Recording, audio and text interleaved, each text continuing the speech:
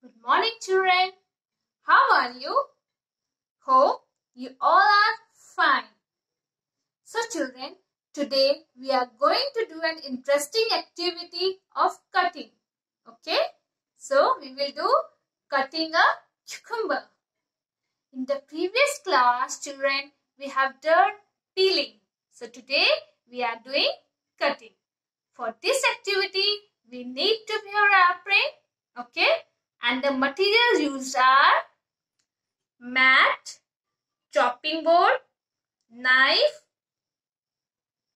sponge, bowl filled with water, empty bowl, dish and the cucumber. Wash me carefully.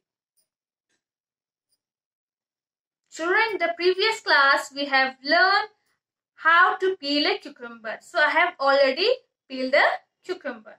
So, today we are going to learn cutting of cucumber. First of all, we will clean it.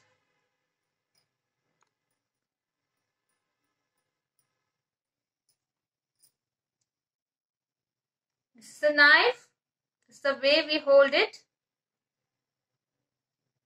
Here we will hold the cucumber like this.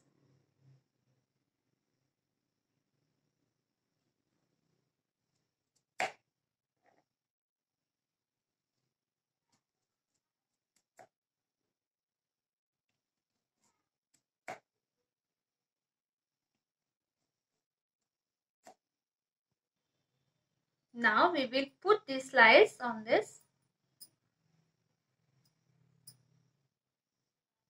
Put back the cucumber here.